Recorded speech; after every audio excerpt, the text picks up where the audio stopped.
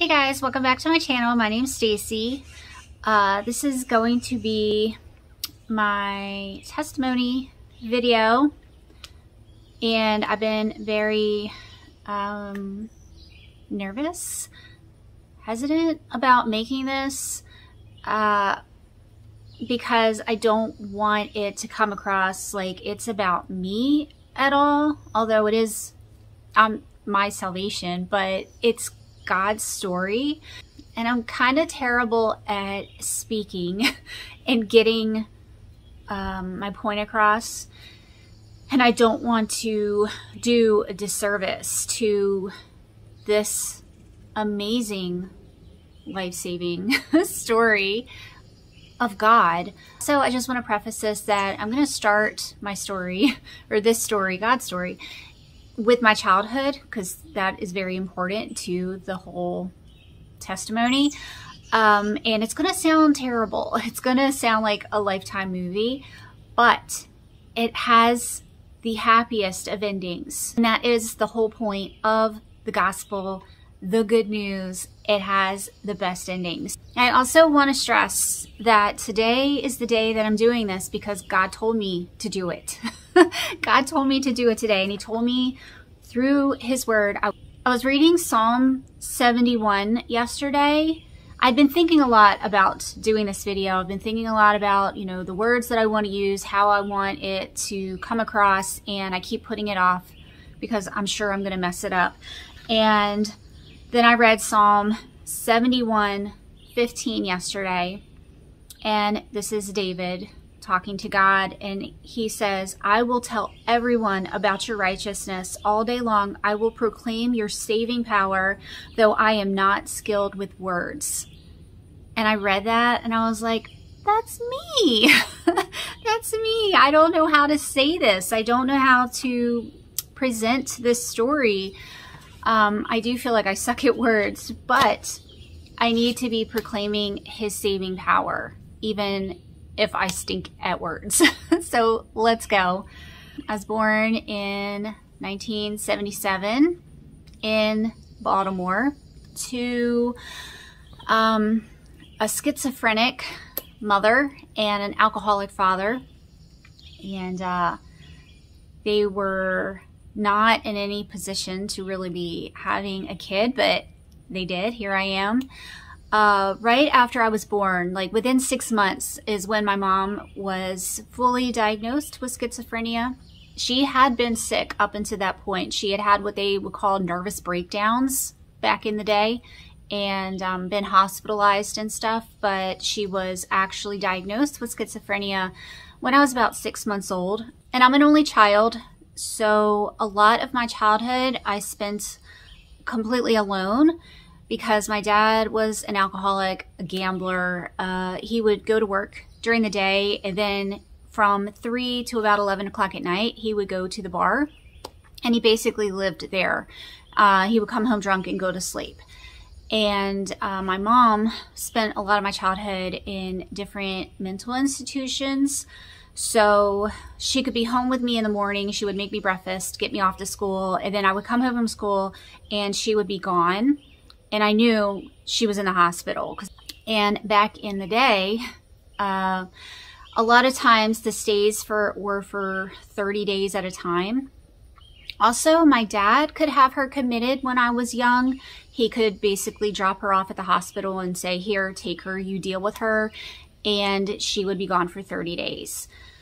So like I said, a lot of my childhood, I was completely alone and no one explained anything to me. I didn't understand what was going on. I didn't understand that my mom was sick.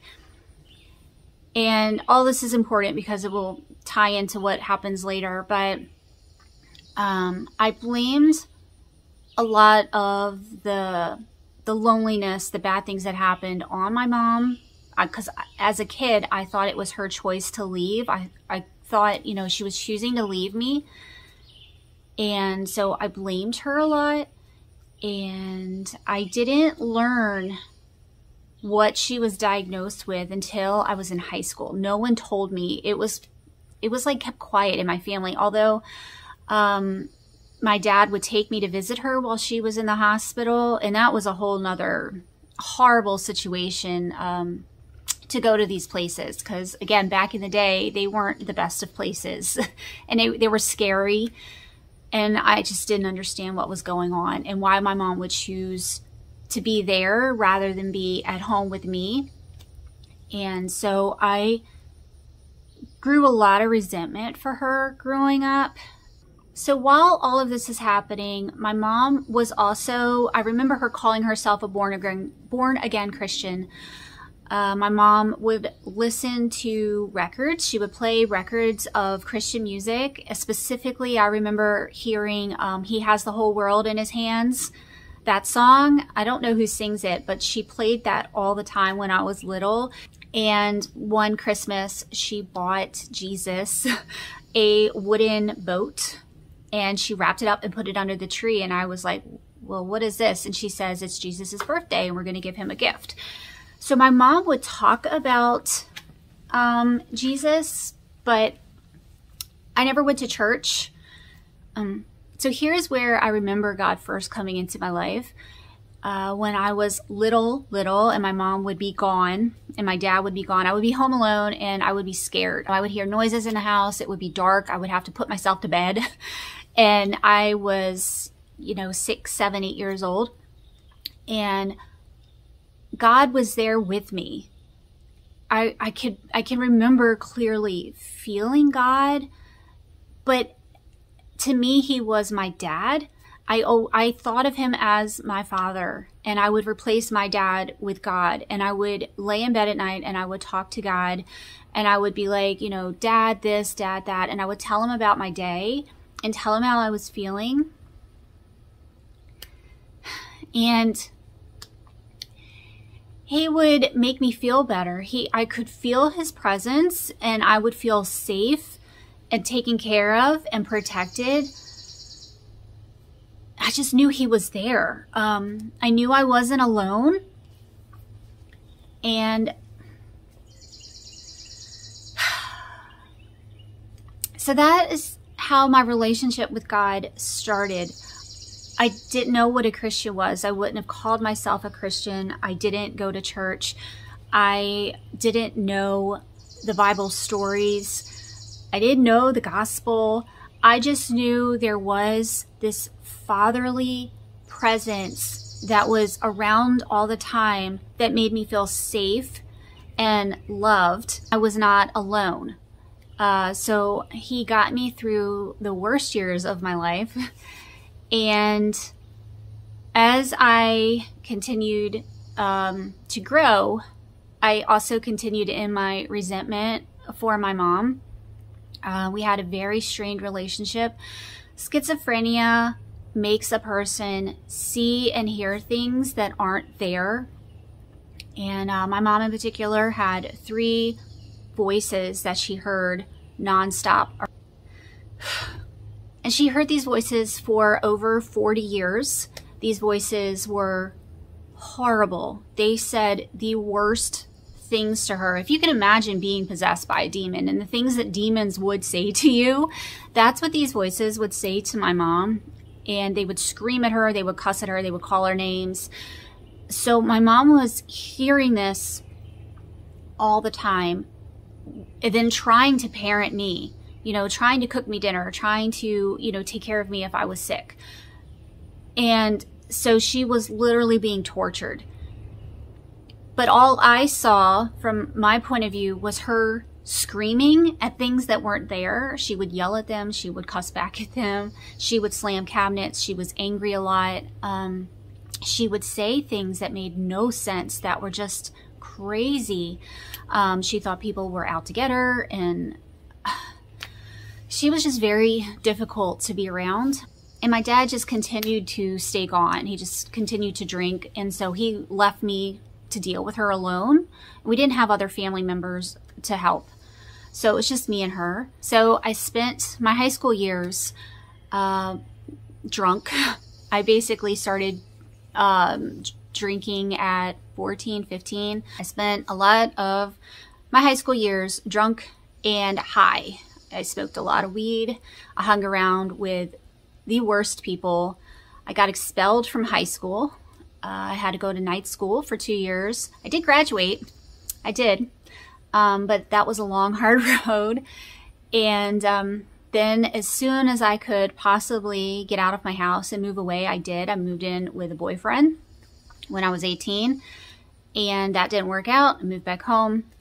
Um, my dad, at that time, I moved in with my dad. My dad was dating a woman who was a heroin addict who ended up overdosing and dying on my living room floor. So I just went from one really awful situation to another. And like I said, this is like a, a lifetime movie. So, um, but has a great ending. So just hold on. So, um, yeah, I just went from one awful thing to the next. And finally, I started dating my husband, who I had known all through high school. I met my husband when I was 14. Uh, his sister was my best friend all through high school. So I've known him forever. And he was in the Marines. And um, he got stationed in England. I moved to England. We got married. So we've been together 20, 21 years. Next month, 21 years in August. And that's been great. Um, and through this time, through this whole time period, I would talk to God. I would pray to God, but I, but I still thought of him as um, like a father figure. And I had this kind of really personal relationship with God, but didn't go to church, didn't read the Bible, didn't know anything about anything. Just kept talking to God because it was a being that was there that I could feel. Then, after a few years of being married, we had kids. My husband uh, grew up going to churches and he really wanted our kids to go. So we started going to church. Um, and I didn't know this at the time, but it was a progressive church. And I was having a really difficult time with my mom. My mom was very, very sick at this time, and I was praying constantly. I had been praying for her my entire life, and nothing ever worked. Um, at least that I could see. She just kept getting worse and more tormented, and I loved her so much. But being around her and watching her go through this, I hated I hated the disease because at this time I knew what it was. I hated the disease so much and I couldn't yell at the disease. I couldn't do anything about the disease and my prayers weren't working. So then I started taking it out on her. I started being really mean to her because I was so frustrated and so angry. Um, and then I would go to church and I would talk to all the people at the church and I would tell them what was going on and they would say, you just have to pray harder. You just have to pray more. You're not praying enough. Um, you're not praying in the right way. God just wants you to be happy and He wants you to, you know, have everything that you want. And if you pray harder, you'll get it. And after a few years of this, I kind of just broke. And I remember I went out into my garage and I started screaming at God one day just yelling, cussing. I was so mad. And I was saying, you know, I've been praying for years and I'm not asking for something for myself. I'm asking for you to help someone else. It, it wasn't even a selfish prayer. I'm not asking for a car or money. so I just could not fathom why he wasn't healing her. Um, and and from that moment, I kind of walked away uh, I I wouldn't I never I never not believed.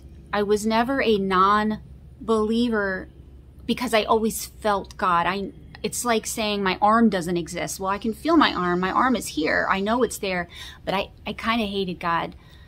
Um, I didn't want to talk to him. I didn't want anything to do with him. I was like, I'm done with you. Um, you're useless. Basically, is how I felt, and so I walked away from the church and I walked away from God and I just continued trying to deal with my mom on my own and things kept getting worse and it kept getting harder and okay. All right. This is where it gets really hard. So i want to say it was three years now. Because of my mom's illness she started believing that she had pains that weren't there Um, she had phantom pains, is what the doctors called it. So my mom started taking enormous amounts of painkillers. Um, for the first few years, she was getting them prescribed to her from doctors. Um, and then when that ran out, she would just go through bottles and bottles of Tylenol and Advil. So eventually, all of that stuff on her stomach started causing severe ulcers and eroding her stomach. Um,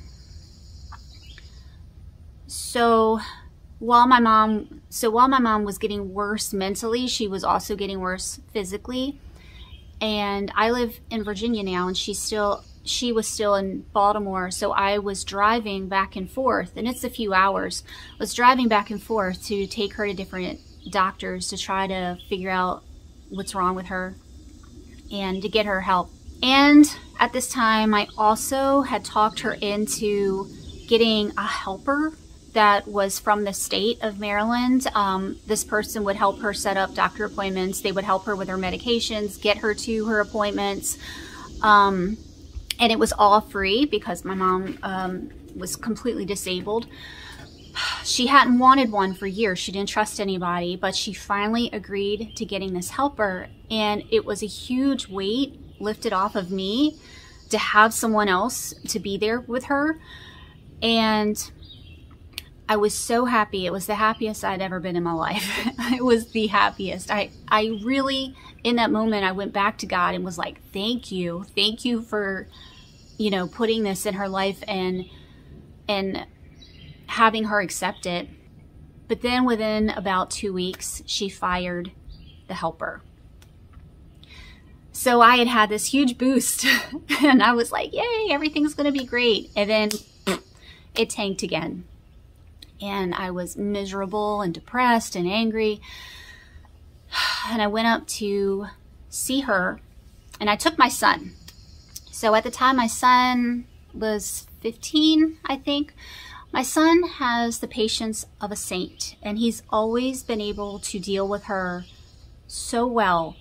Um, so I took him with me, and I was in her apartment, and we got into a huge argument which was usual. We argued every time we saw each other. We got into a huge argument. I was so mad that she had fired the helper and put all of that stress back on me. Um, so we're screaming at each other. I'm saying I'm leaving. I go to walk out of her apartment, and she said something like, You would be happier if I just was dead, right? Like, you'd be happier if I wasn't here. And I just looked at her. And I don't remember if I said the word or not, but I looked at her so she would know, like, yeah, I actually would. Things would be better. It would be easier. And she just kind of, you know, shut the door and I walked down the hallway and I got in the car and I drove home and I was so mad. And we went for a whole week without speaking. And I said to my son one night, I asked him if he could pray for grandma, for his grandma, because I felt like God didn't want to hear it from me. God didn't want to hear my prayers. God wasn't answering my prayers. It didn't matter if I prayed or not. So I thought maybe hearing it from someone else would make a difference. So I asked him sincerely, Would you pray for her? Maybe God wants to hear it from you. Maybe God needs to hear it from someone else and maybe that would help. And my son said, yeah, I'll, I'll pray for her. I don't know if he believed or not at that time um, because we had left the church several years before that and he knew how angry I was and we didn't talk about God around here. So I don't know really how he felt about God at that point. I just, I, I needed somebody to do something. So I asked him to do it. And so the next day, I got a phone call from my aunt, my mom's sister. They were estranged. They didn't see each other. Um, but she called me and said that my mom had passed away. My mom had died due to complications from her stomach. So, um, after I found out that she died, of course, I was distraught, to say the least. The last time we talked, it, it was a screaming match. And I had basically told her it would be better if she were dead. And and you can't take those words back. And if a person passes away before you can say you're sorry, then like then what? like you've lost your chance, you know? So um that was the last thing that, you know, I basically said to my mom and then my mom died. It's one of those things that, you know, you read about. That doesn't happen in real life though, right? But yeah, it, it happened. it happened to me. A few days after me being basically comatose, I remembered having that conversation with my son. And uh, so I asked him, I said, Do you remember when I asked you if you would pray for grandma for God to save her? And he said, Yeah. And I said, and here's where I'm really going to cry. I cry every time I tell this story. But um, he said, Yeah, I remember. And I said, Did you? And he said, I did.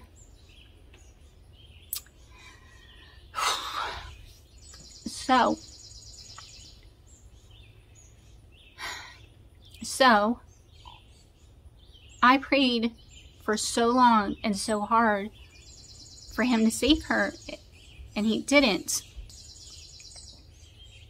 And in that moment, I feel like he was waiting for my son. He was waiting for my son to come to him.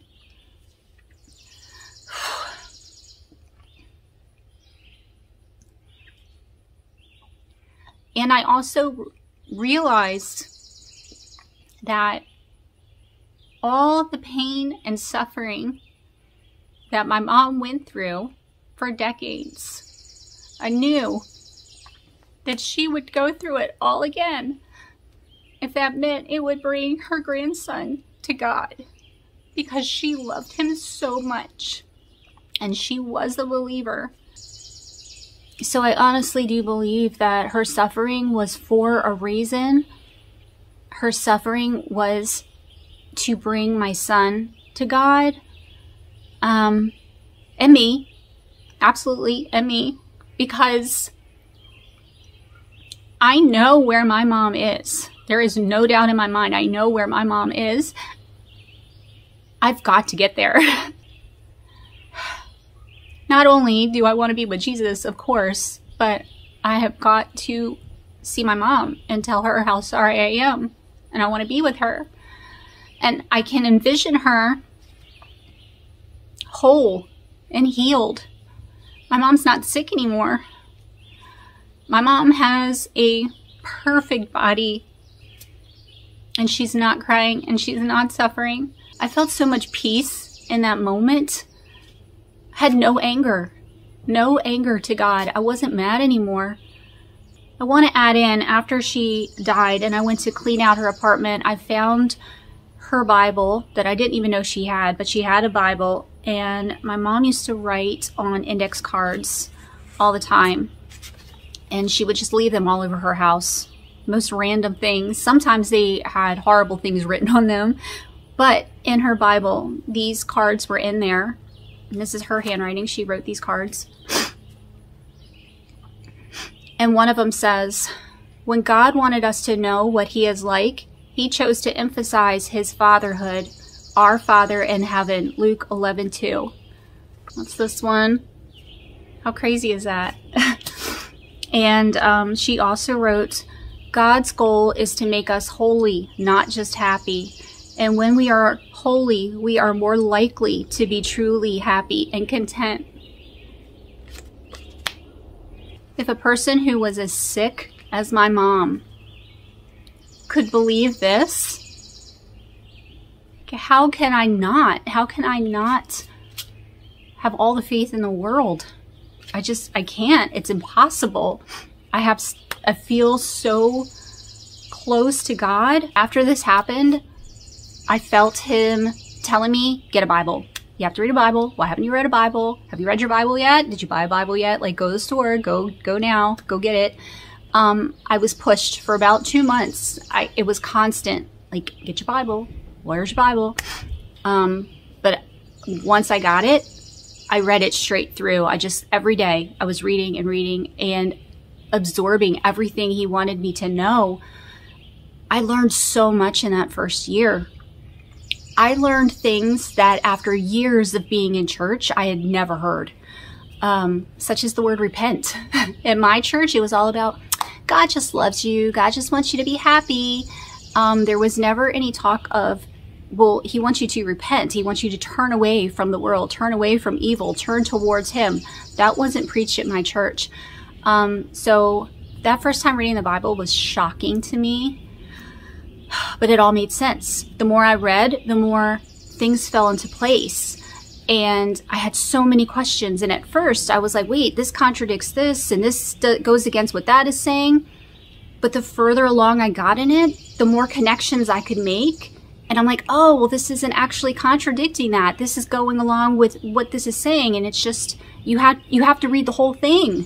you have to read the whole thing, um, to have the full context. And all I'd ever heard throughout my life was, you know, just little verses here and there. So it has been the most amazing experience learning about God. It's mind blowing. Um, how amazing he is, how awesome he is, and how he will wait for you. He waited for me for decades. He waited for my son. And sometimes he will put you through the toughest situations in order to bring you to him. But it's worth it. It's worth it because there's nothing better than being with God. Like what a nightmare. I can't even, I cannot even imagine not being with God. So anyway, this video is very long. I apologize. I honestly don't know how to make this story shorter because there are so many things that just lead to God and point to God's greatness and his goodness and his love and his saving grace. And he gets all the glory. Hallelujah. um, I hope you guys find this helpful in some way. And if you leave with anything, it is how important your Bible is, how important to pray without ceasing is. Never give up and how important it is to ask other people to pray too. Um, we all are the body of Christ, and if one of us hurts, everyone hurts. So that's all I got. Um, I love you guys. I hope you have a great day, and I will see y'all soon. Bye.